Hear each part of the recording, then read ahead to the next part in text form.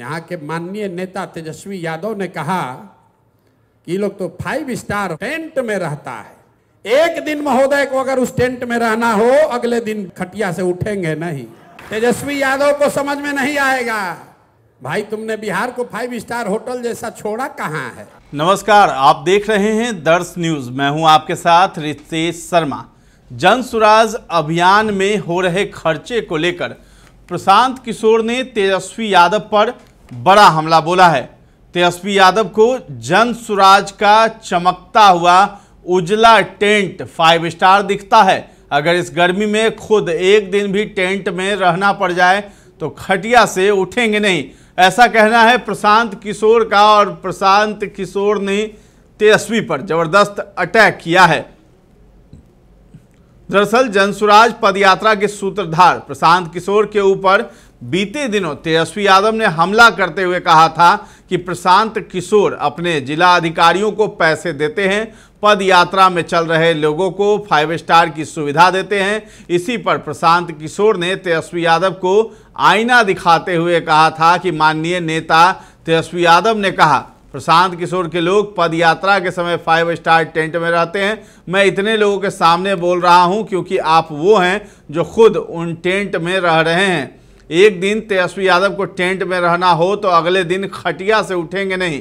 तेजस्वी यादव को बाहर से उजला चमकता हुआ दिखता है तो उन्हें फाइव स्टार लगता है। तेजस्वी यादव को पता नहीं है कि वहाँ पर लड़के किन परेशानी में अपना जीवन खफा रहे हैं। मगर ये बात तेजस्वी यादव को समझ नहीं आएगा। तेजस्वी यादव ने बिहार को फाइव स्टार जैसा छोड़ा कहाँ है। फाइव स्टार टेंट में रहे, यही सपना लेकर तो आज वो इन टेंट में रह रहे हैं।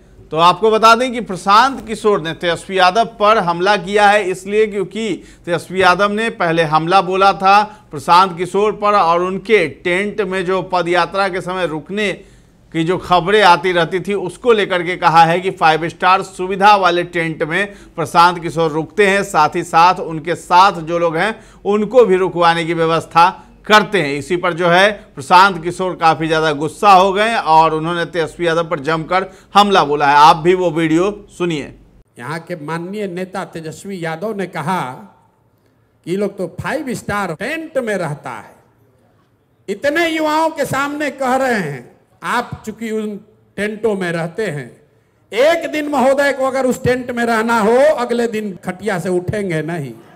उसको लग रहा है कि टेंट बाहर से उजला चमकता हुआ दिखता है। उसको मालूम नहीं है कि उसमें रहने वाले लड़के किस गर्मी, किस परेशानी में अपना जीवन खपा रहे हैं। जो तेजस्वी यादव को समझ में नहीं आएगा, भाई तुमने बिहार को फाइव स्टार होटल जैसा छोड़ा कहाँ है? बिहार में बच्चे फाइव स्टार होटल में रहें, यही सपना लेकर तो बिहार के बच्चे इन टेंटों में रह रहे हैं। तो आपने सुना और देखा कि किस तरीके से प्रशांत किशोर ने तेजस्वी यादव पर हमला बोला है। तो तेजस्वी यादव ने जिस तरीके से पीके पर ज़बरदस्त अटैक किया, उसी को लेकर के पीके काफ़ी ज़्यादा गर्म दिखाई दे रहे थे। और उन्होंने बताया कि इस टेंट में वैसे लड़के रहते हैं जो बिहार को बदलने की ताकत रखते हैं और वैसा सपना देखते हैं बिहार में बदलाव की। इसीलिए संघर्ष कर रहे हैं और हमारे साथ हैं। और आपने तो बिहार को ही फाइव स्टार जैसा छोड़ा ही नहीं। तो फिर कैसे फाइव स्टार टेंट यहाँ पे हो सकता है? तो फ़िलहाल इस खबर में इतना ही है। दर्श न्यूज़ को अभी तक सब्सक्राइब नहीं किया है तो ज़रूर कर लें। धन्यवाद।